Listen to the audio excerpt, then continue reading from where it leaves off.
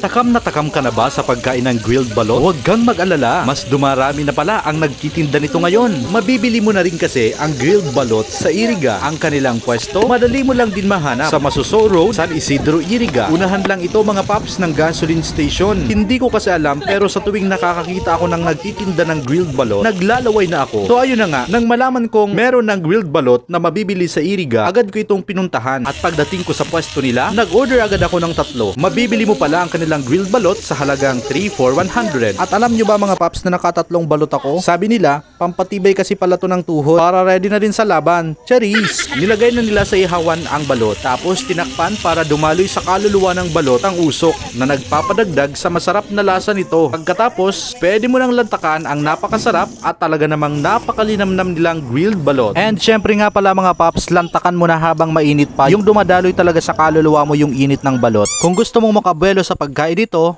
pwede mo ring isalin sa paper plate. Tara, kain tayo ng grilled balot. First bite, sakit batok. Charis! Pero paalala lang pala mga paps ha, you can eat balot, but in moderation. Ano daw? Kung naghahanap kayo ng grilled balot, dito sa Iriga, mayroon na rin grilled balot. Dito lang yan sa San Isidro, Iriga City.